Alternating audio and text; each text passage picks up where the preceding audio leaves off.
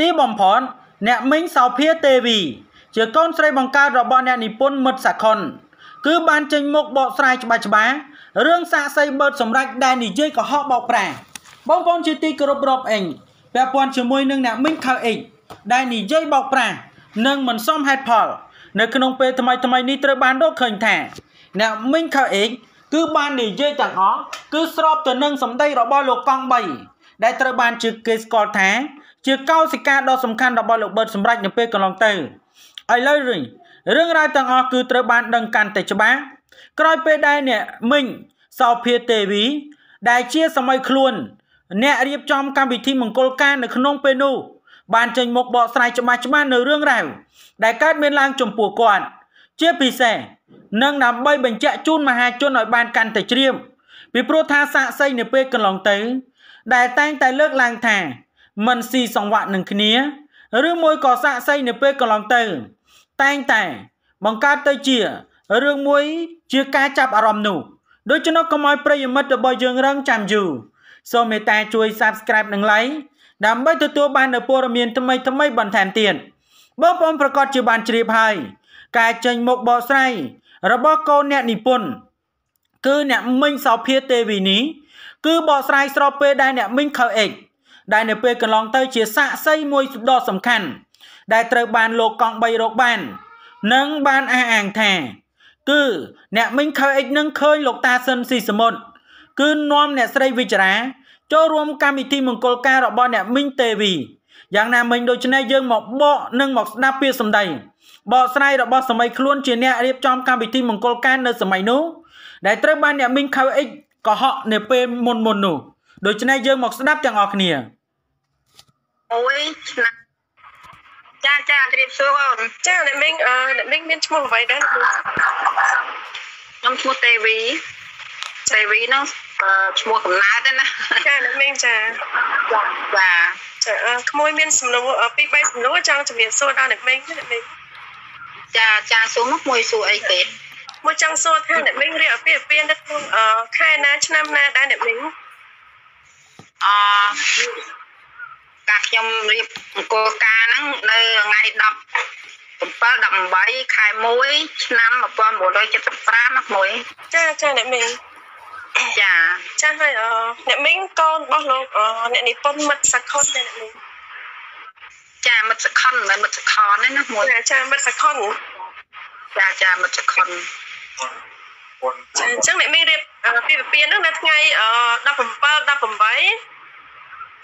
1ខែមករាឆ្នាំ1975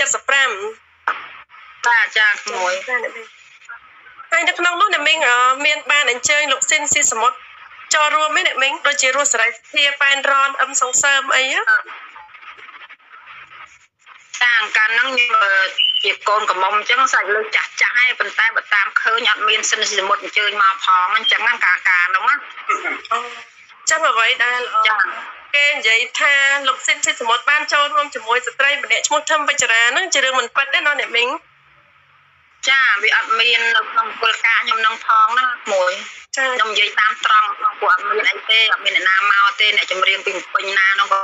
អត់មានអ្នកណាមកដែរអញ្ចឹងណាចាចាអ្នកមីងចាចាចាមួយ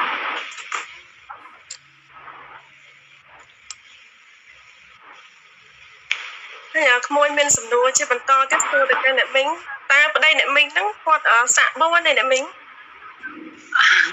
អឺអត់ទេក្មួយគាត់ត្រឹមតែសាក់ពីរទេសាក់ពីរខាងរត់ក្រោះសាក់មុនហ្នឹងគាត់អត់ដឹងគាត់ចេះតែឃើញសាក់សាក់គេថាសាក់ធំធំពេកហើយដល់សាក់4ចាអ្នកមីងចាការទៅពេលអ្នកមីងការហ្នឹងអ្នកមីងអញ្ជើញភ្ញៀវច្រើនទេអ្នកមីង អវាច្រើនណាស់ច្រើនហើយក្មួយប៉ុន្តែក្នុងរឿងចាស់ចាស់ណាយើងដើរតួកូនកំមុំយើងអត់ដឹងអីដែរហ្នឹងក្មួយឃើញតែភ្ញៀវមកជុំជុំច្រើនថឹកអធមចឹងដែរណាក្មួយចាចាលោកមីចាចាហើយចាស់ទុំគាត់ហ្នឹងក៏គេហៅភ្ញៀវមកគាត់ជួយភ្ញៀវគាត់ស្គាល់ច្រើនហើយយើងជាកូនអត់ដឹងណាចាអ្នកមីងចាចាំដល់ឲ្យចូលរោងការចឹងឯង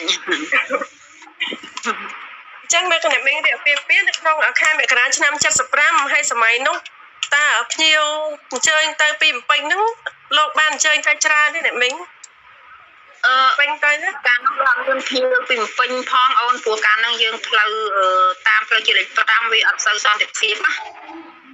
ហ្នឹងហើយវាដាច់ផ្លូវដាច់អីជំនាន់នោះវាបាញ់គេតាមកាត់ផ្លូវកាត់ផ្លូវជាតិផ្លូវអីផងអត់មានទេអត់មានភៀវពីពេញផងញៀវទៅក្នុងស្រុកចាអ្នកមីងបាទ ចាចាំមួយផ្លូវយើងមួយដូចអត់សំណួរអ្នកមីង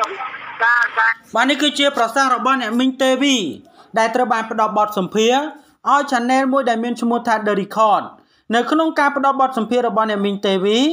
និងជាការឆ្លើយតបមួយទៅកាន់អ្នកមីង KX ដែលត្រូវបានគេស្គាល់ថាជាសាក្សីរបស់លោកពូកង់3ដែលតែងតែដើររោគទាំងលំបាកនិងយ៉ាងលំបិន ទីបំផុតរោគបើរោគបានសាក្សីសុទ្ធតែជាសាក្សីដែលមានពាក្យសម្ដីមិនពិតនិងឥឡូវនេះត្រូវបានដឹងកាន់តែច្បាស់ហើយហើយរឿងរ៉ាវទាំងអស់ក៏ត្រូវបានបើកបង្ហាញជាបន្តបន្ទាប់ផងដែរដូច្នេះព័ត៌មាននេះមានប៉ុណ្ណឹងដើម្បីទទួលបាននូវព័ត៌មានថ្មីៗបន្ថែមទៀតសូម Subscribe និង Like